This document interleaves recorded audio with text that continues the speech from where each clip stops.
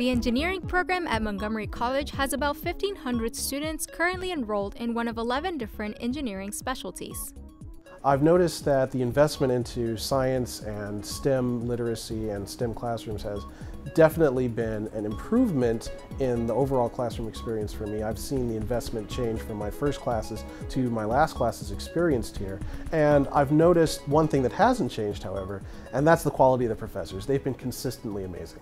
Most of the faculty have uh, working outside before or they are teaching in other school before. So they either have uh, some kind of industry experience or maybe have some research experience. Enrollment in the engineering program has doubled over the last eight years, a testament to the strength of our faculty, 70% of whom have doctorates. We attribute our growth to amazingly qualified, brilliant faculty, state-of-the-art facilities, strongly articulated program with our four-year receiving institutions, wonderful and amazing support by our administration, college's administration, and uh, county council support.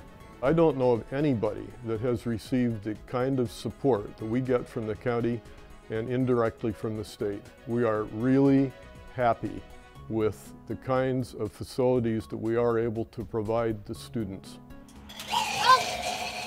The engineering student body is ethnically diverse and 15% of engineering students are women. It's a smaller class, smaller campuses. The professors get a chance to talk to you one-on-one. -on -one. We have a dynamic learning environment with plenty of diversity in the student population. The state-of-the-art labs in uh, the new building over here was part of the attraction for me when I first applied here. The facilities at Montgomery College's engineering program are actually a lot better than the facilities of other four-year engineering colleges.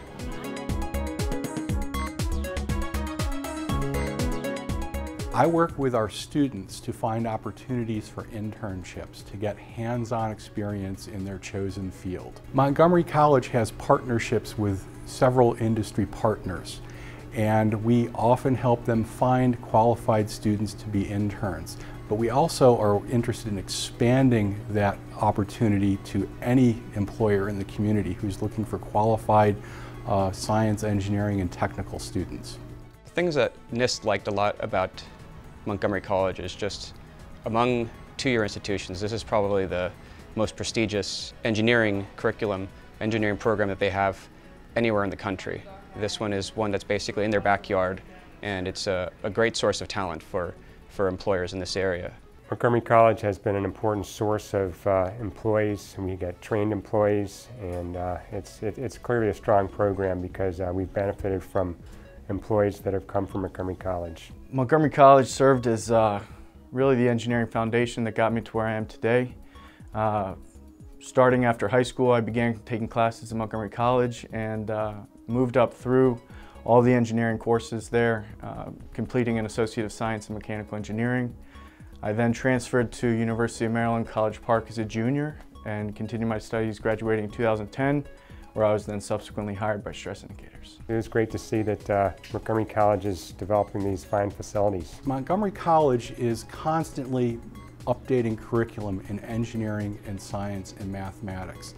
It's based on industry needs and also the requirements that are changing for accredited degree programs such as engineering. Since engineering is not a terminal program, students must go on for more education and an impressive 80% of our students transfer successfully to four-year institutions. Universities such as University of Maryland College Park, George Mason University, Virginia Tech, and Howard University have accepted MC engineering students into their programs.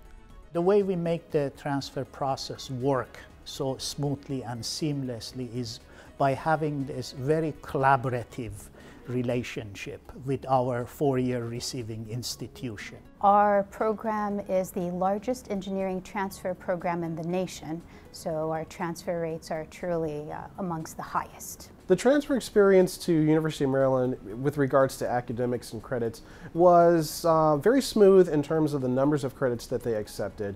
There was very much a uh, one-to-one -one ratio of this class actually matches that class, so we'll accept that credit fairly easily. At uh, Georgia Tech, they have not only accept our students through an articulation agreement, they want our students. So it's in a way preparing you to actually go to the university you want to. And that's a great way to start your career.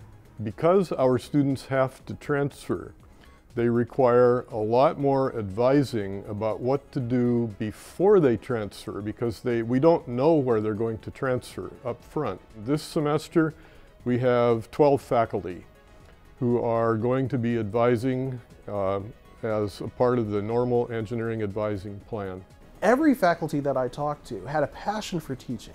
Every faculty member had a passion for meeting the students where they are and bringing them to a new realization or a new understanding. And I feel that that passion is unmatched in many of the institutions that surround Montgomery College because Montgomery College is one of the top institutions in the country when it comes to producing world-class associate's degree graduates. So I feel that the faculty is really one of Montgomery College's biggest strengths.